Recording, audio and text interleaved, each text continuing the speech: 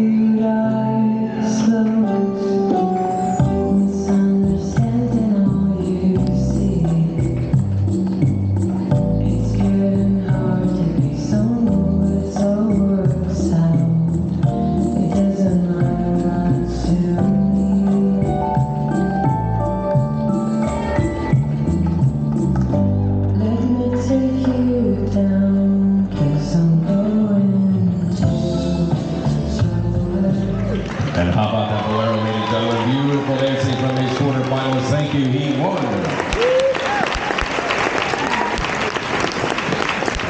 And now here's Heat 2.